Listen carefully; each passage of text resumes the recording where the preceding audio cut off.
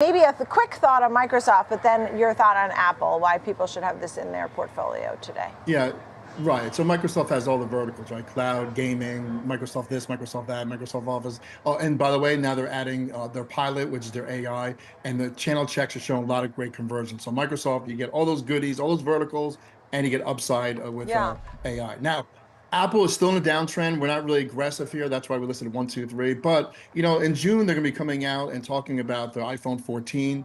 It's going to be a winner. You know, here's your little phone, which is now you kind of hardly even use Siri.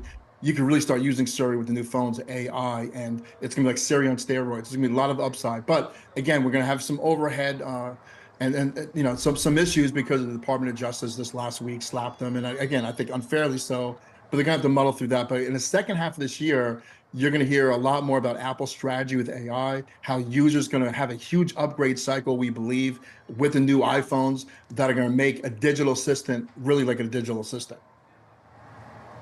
Yeah, and look, uh, on June 10th, we have uh, the Worldwide Developers Conference too, so we'll hear, excuse me, more about that at that time. Great to see you so much, Ken Mahoney, Mahoney. Asset Management.